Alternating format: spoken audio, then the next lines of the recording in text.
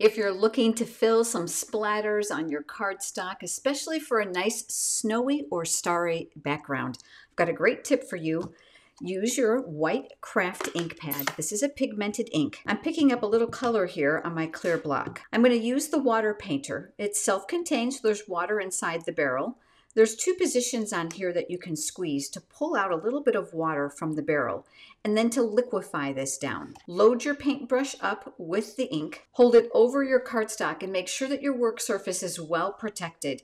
Tapping it against your opposite hand's index finger, you're going to get a really pretty random splatter effect. The more water you place on there, the thinner it's going to be. The more ink, the thicker it's going to be. You can turn the cardstock to create different patterns, but this creates a beautiful starry or snowy sky.